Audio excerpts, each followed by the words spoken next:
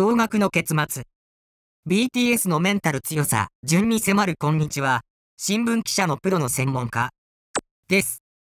今回は、人気グループ BTS のメンバーの中で、誰が最もメンタルが強いのかをご紹介します。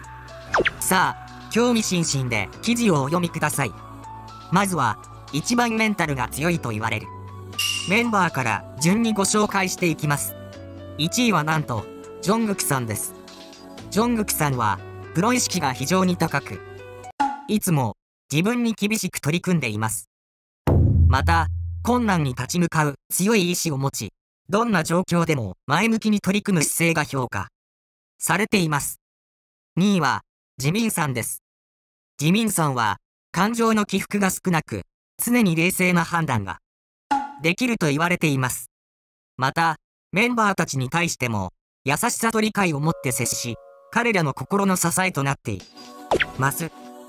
3位に輝いたのは、RM さんです。RM さんは、長年の経験から来る落ち着いた性格が特徴で、自己管理能力が非常に高いと言われています。彼のリーダーシップとメンバーを思いやる姿勢は、グループ内での結束力を高めています。4位は、J-HOPE さんです。J-HOPE さんは、明るく活気に溢れた性格で、常に笑顔を絶やさず、周りの人々を元気づける存在として親しまれています。彼のポジティブなエネルギーは、メンバーたちにも大きな励ましとなっています。5位は、ジンさんです。ジンさんは、落ち着いた性格と優しさが特徴で、メンバーたちの癒しの存在として愛されています。また、困難な状況でも、冷静な判断ができ、メンタルの安定さを持つことでも知られています。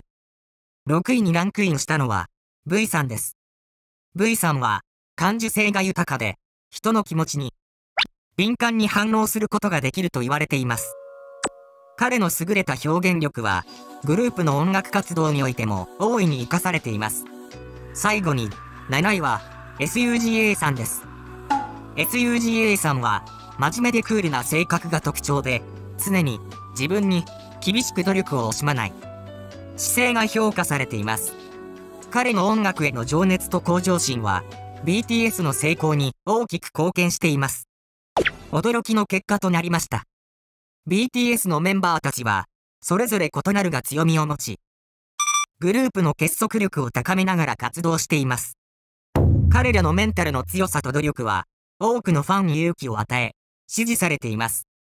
いかがでしたか ?BTS のメンバーのメンタル強さ順をご紹介しましたが、個人の主観も入っているため、皆さんのご意見も聞きたいと思います。